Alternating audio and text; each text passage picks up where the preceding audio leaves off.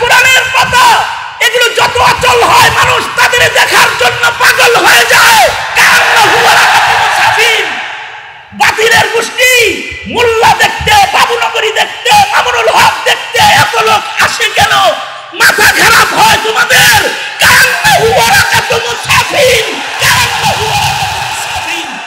তাদের চেহারা হলো কোরআনের পাতার মতন। মুমিনদের কাছে একজন আলেমের মুসাফির আফসোস লাগে ওই মুসলমানগুলার জন্যে।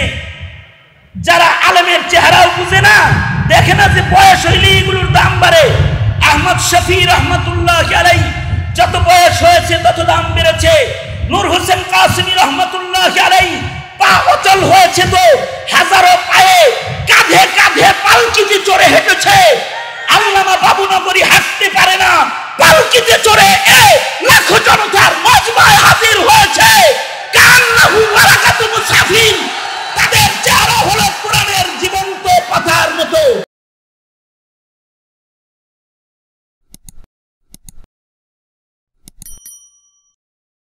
সাহাবিদের কাছে আল্লাহর নবীর চেহারা ছিল কোরআনের পাতা।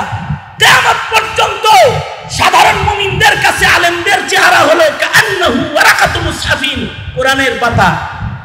এ কারণে জাগতিক শিক্ষায় শিক্ষিত যারা, ওরা বয়স হইলে পরে ওগুলো রিটায়ার্ড হয়। অফিসে থাকলে কয়, বাইরে যা আড়াইশ নেই বয়স বেশি হয়ে ঘরে যদি বয়স বেশি হয়, কয়, বৃদ্ধাশ্রমে চলে যাও।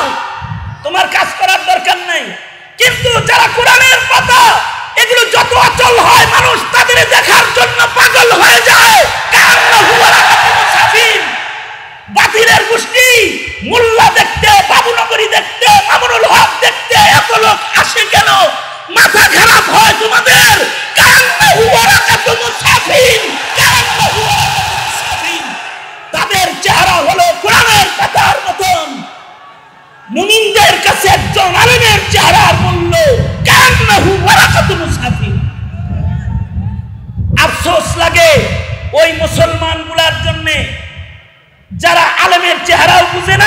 দেখে না যে বয়স হইলে এগুলোর দাম বাড়ে।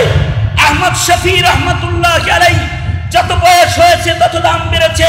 নূর হোসেন কাসিমি রহমতুল্লাহ আলাই পা অচল হয়েছে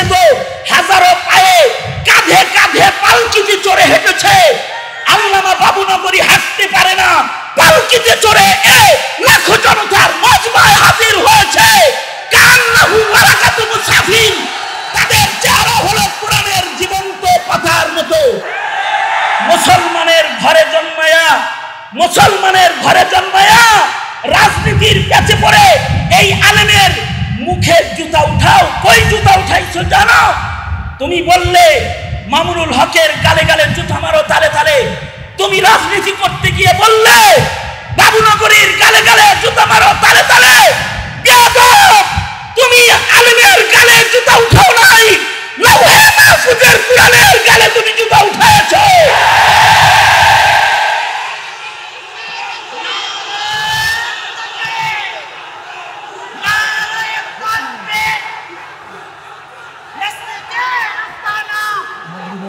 আগে কথা নিয়ে এই পর্যন্ত আসে। পনেরো মিনিট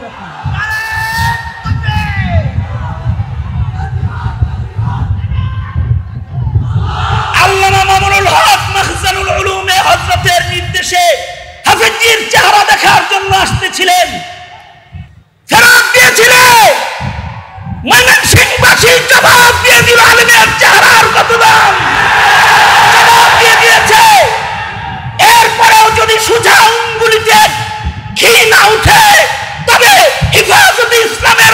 আজকে হাজির রয়েছে। তোমাদেরকে পয়গাম শোনায় দিচ্ছি। আমিনের